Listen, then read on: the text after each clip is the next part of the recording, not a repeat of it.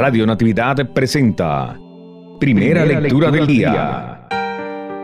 Lectura del libro del Éxodo, capítulo 14, versos 5 al 18. En aquellos días, cuando le avisaron al faraón que los israelitas habían escapado, el faraón y sus servidores cambiaron de parecer con respecto al pueblo de Israel y exclamaron, ¿qué hemos hecho? Hemos dejado escapar a nuestros esclavos israelitas. Entonces el faraón mandó enganchar su carro y llevó consigo sus tropas, seiscientos carros escogidos y todos los carros de Egipto, cada uno con sus respectivos guerreros el Señor endureció el corazón del faraón rey de Egipto para que persiguiera a los hijos de Israel mientras éstos se alejaban jubilosos.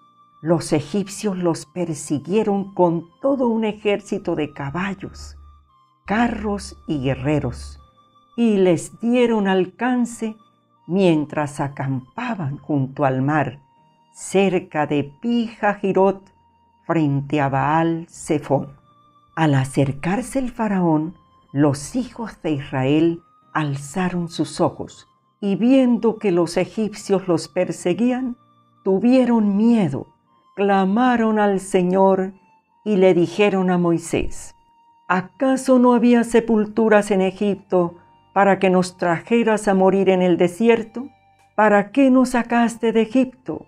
¿No te dijimos claramente allá déjanos en paz, ¿queremos servir a los egipcios? Pues más vale servir a los egipcios que morir en el desierto. Moisés le contestó al pueblo, no teman, permanezcan firmes y verán la victoria que el Señor les va a conceder hoy. Los egipcios que ven ahora no los volverán a ver nunca el Señor peleará por ustedes y ustedes no tendrán que preocuparse por nada. Entonces el Señor le dijo a Moisés, ¿por qué sigues clamando a mí? Diles a los israelitas que se pongan en marcha.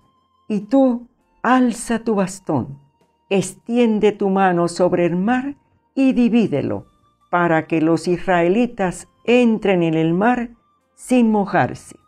Yo voy a endurecer el corazón de los egipcios para que los persigan y me cubriré de gloria a expensas del faraón y de todo su ejército, de sus carros y jinetes.